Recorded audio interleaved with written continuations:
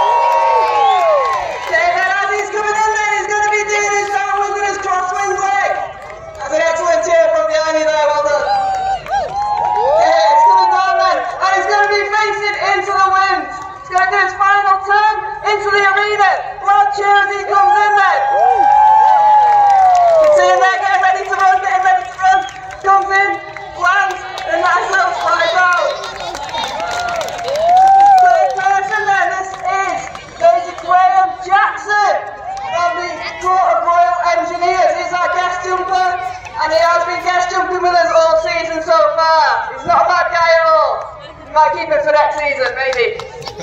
yes, he's coming in